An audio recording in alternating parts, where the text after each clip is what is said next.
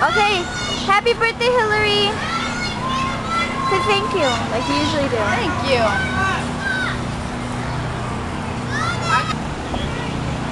What happened? That's kind of hard to step on. My feet are all dirty. I need to wash them. I mean, not my feet, my shoes. The little kids just bouncing. Hey, remember when they used to have those on? Yeah. And everyone used to run through them, and if we ran through them, we get in trouble because we were I know, kids. she misunderstood me. That was me. You could have said people with dark skin. No. That